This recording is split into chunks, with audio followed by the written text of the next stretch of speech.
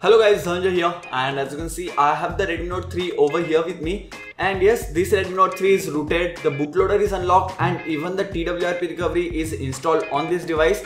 And in this video I'll show you guys how to update your device from a lower version of MIUI to a higher version of MIUI with the TWRP recovery. Yes, you heard me right, with TWRP recovery I'll show you the method.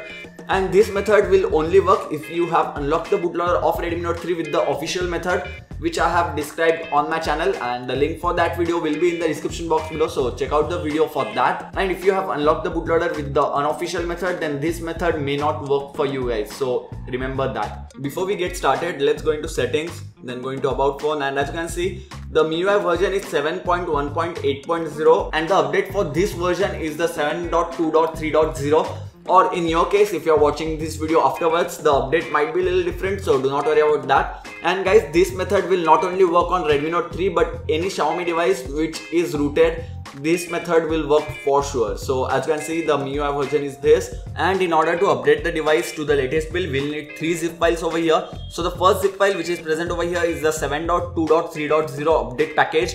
And this is not the OTA update package. This is the full zip file. And yes in order to update you will need to download the full zip file. OTA updates cannot be flashed through TWRP recovery.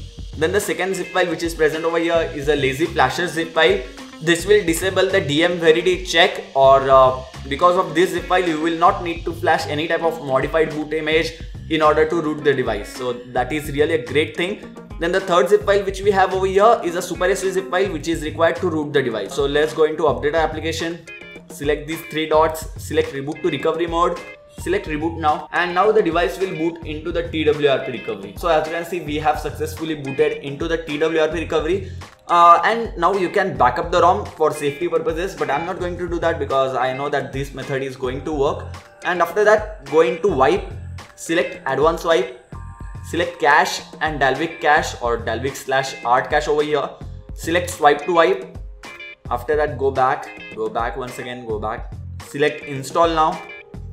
And now select the 7.3.0 zip file which is the update which we want to flash on this device select swipe to confirm flash and the zip file will get flashed in some minutes so the update installation is complete now once again go back now select the beta super SU zip file if you want to root the device then select this zip file and select swipe to confirm flash once the zip file is flashed, go back once again. Now select the lazy flasher zip file and it is extremely important to flash this zip file otherwise your device will not boot. So remember to flash this zip file after flashing everything.